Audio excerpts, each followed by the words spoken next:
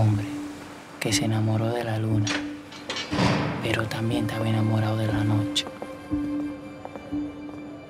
Yo no entiendo cuál es tu afán con ir para Malpaso. Es para verlo nada más. ¿Ves qué? Un chamoca, un viaje de haitiano y un maldito bajo.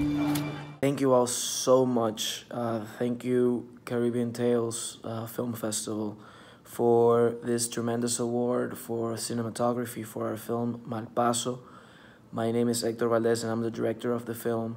And I would like to express our gratitude on behalf of our director of photography, Juan Carlos Gomez, and the rest of the team for such a tremendous honor and recognition for the hard work uh, that was put into our film.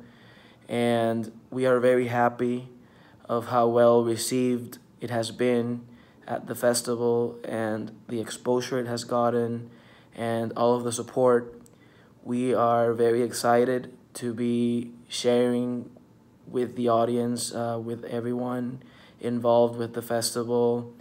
Uh, this film that means so much for us. Uh, and I just want to say thank you, thank you, and thank you so much.